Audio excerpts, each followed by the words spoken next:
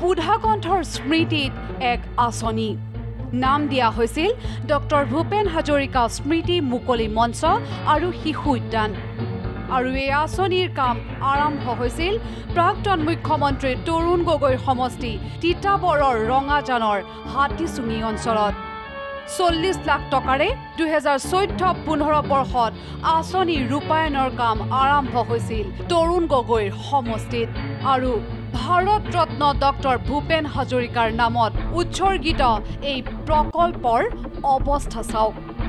সামান্য কাম কৰিয়েই দায়িত্ব সামৰিলে ঠিকাদাৰে। আৰু চল্লিছ লাখ টকাৰ প্ৰকল্পৰ আঁচনিৰ সমুদায় ধন উদৰস্থ কৰিলে। সেই সময়ৰ কংগ্ৰেছ নেতাৰ লগতে ঠিকাদাৰে।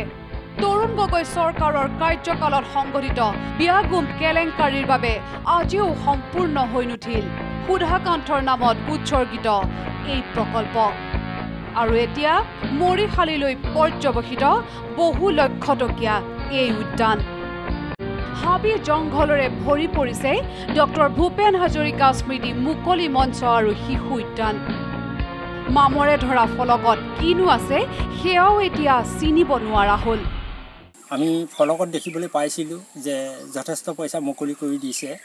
এই মুকলি কৰি দিয়া পইচাৰো যে সৎৰূপে ৰূপায়িত হোৱা নাই ইয়াৰ পৰিলক্ষিত হৈছে কাৰণ এতিয়া হাবিলে পৰিণত হৈছে য'ত বাঘে ঘোঙে বাস কৰাৰ উপক্ৰম হৈছে মৰিশালী সদৃশ হৈছে। তৰুণ গগৈৰ সমষ্টিত সংগঠিত এই বিয়াগুম কেলেংকাৰী ফাদিল হোৱাৰ পিছত এতিয়া স্থানীয় ৰাইজে উচ্চ পৰ্যায়ৰ তদন্ত বিচাৰিছে। হৈ যোৱা কামখিনি কি হ'ল কি নহ'ল এই সম্পৰ্কে আমি সম্পূৰ্ণ তদন্ত কৰি একো আদিশ নাপালোঁ। সেয়েহে নতুন চৰকাৰে এই কথাটো বিবেচনা কৰিবৰ কাৰণে মই আমাৰ ৰাইজৰ তৰফৰ পৰা অনুৰোধ জনালোঁ।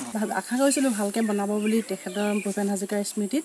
চৰকাৰে ভাল মানে তেওঁলোকে বিবেচনা কৰি ভালকৈ আমাক তদন্ত কৰি ভাল ৰঙমঞ্চ আমাক বিচাৰে প্ৰশ্ন উঠিছে ভূপেন দাৰ প্ৰকল্পৰ নামত প্ৰকৃততে কাৰ কাৰ পকেটত সোমাল আঁচনিৰ ধন?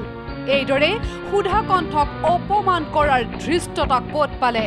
নেতা ঠিকাদাৰে তৰুণ গগৈৰ সমষ্টিত এতিয়া এইদৰেই চূড়ান্তভাৱে অপমান কৰা হৈছে অসমীয়াৰ হিয়াৰামঠু ভাৰত ৰত্ন ডক্টৰ ভূপেন হাজৰিকাক।